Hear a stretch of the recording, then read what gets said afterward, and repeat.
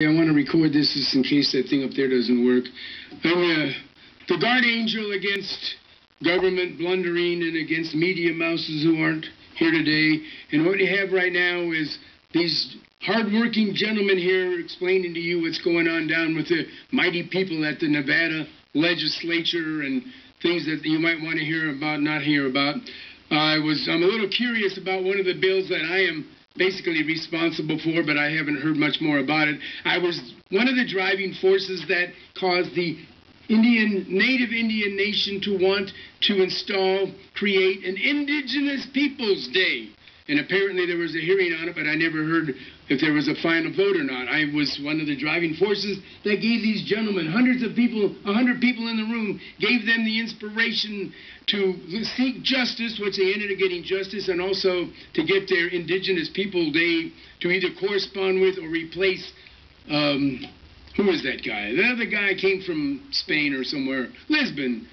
That guy, um, what was his name? Columbus. Yeah. At any rate, I wondered what was happening to that bill. I'm here as the citizen to demand a couple of these bills that you create for citizens. I'm representing thousands and thousands of citizens, obviously, because I'm the only one who ever comes to the podium. De facto representation of hundreds of thousands of citizens. Anybody want to argue that? Come up here and change it. It's the Lord's truth.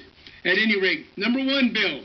If I was if I was the governor, which I should be, I would just create a- an executive order and say we're stopping we're stopping these crazy um, boondoggle corporate welfare uh, public projects that have no meaning. They're things into the future's dreams that may or may not come to fruition, and we need to fix the infrastructure here. I'm standing in here and it smells like the sewer's backed up somewhere.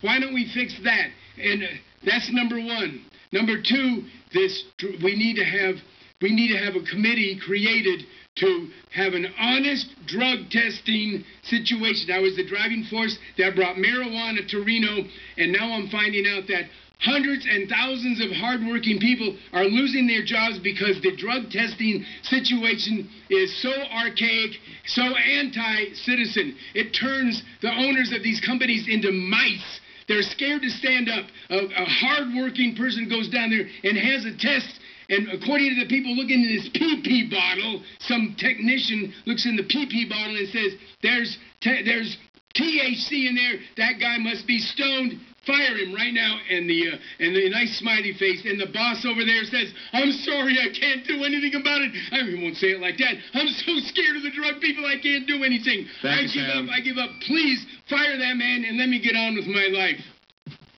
Does anybody have any Thank questions you. on that? What I Up- just Up next on that? there must be something of interest. Uh, nobody. Even Nobody. Okay, we're done.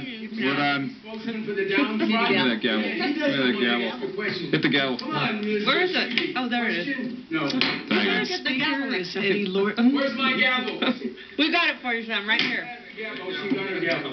What are you doing over there writing without a gavel for standing at the podium? What is it? Thank you, thank you, thank you, thank you. Oh, yeah. Thank you, thank you, thank you. And- Mr. Warden, please.